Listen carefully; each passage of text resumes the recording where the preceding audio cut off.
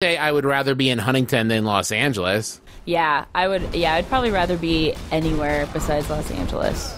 When oh man, if shit goes down here in Los Angeles, like serious, serious stuff, traffic alone makes this Yeah. the most impractical city to live in. Yeah, everybody's dead. Dead. You're dead.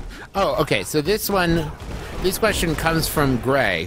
Do you guys think the world will end with a bang or a whimper? And how do you prepare for a whimper anyway? Hmm. Good question. I think that when we talk about the apocalypse, we're kind of assuming it will be a bang, right? Because I feel like a whimper implies that, like, slowly over time, it faded out. Mm-hmm. And then at the very end, only then did it realize it was fading out and whimpered as it popped, as it went away. And a bang is like everything was fine, bam, it's not fine anymore, right? Yeah, I think so. So I, I kind of feel like. Whimper is like, you know, uh, global warming. Yeah, exactly, exactly.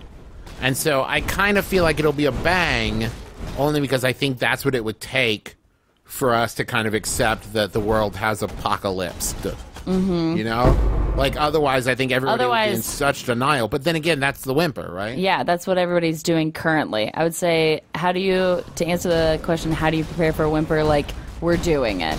We have celebrities talking about it when they accept a speech, and we have some people preparing and most people ignoring it. You know? Yes, I do. I mean, oh, you know what was suggested as a as a uh, as an episode, which we might want to consider doing, is uh, Trump apocalypse. Like, what if Donald Trump wins the presidency? Oh my god. well, let's wait until after the elections are over. Yeah. And then we'll talk about it in retrospect because it's just way too real right now to actually talk about in I think some so way. too. Yeah. But I bet we can do research into like presidents who have been elected when people were like, please no, not them. Yeah. And see how it went afterwards. Yeah? Mm-hmm. All right. Uh, we have one last story here. This is from Michelle.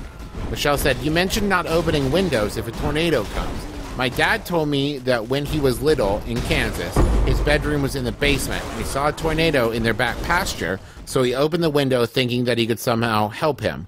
Unfortunately, it basically just sucked all the oxygen out of the room. It created a vacuum, and someone had to open the door from the first story. In high school, I was filming a friend's riding lesson, and we spotted a tornado across the pasture and hunkered down in the office while it passed. Everything was fine until the horses in the barn started freaking out.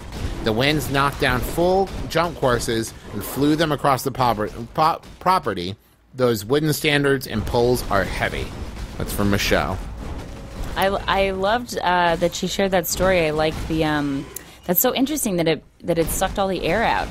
You know, but I've been I so like I've had it before, not to this degree, mind you, but like I'll have a window open, mm-hmm. and like I'll have a door, you know, slightly open, and like the wind comes through the house or like whatever blows out the window, and it slams my door closed. You know what I mean? Yeah. And now I've never been in a scenario where there was such a vacuum from the wind from outside that I could not open the door, but I think.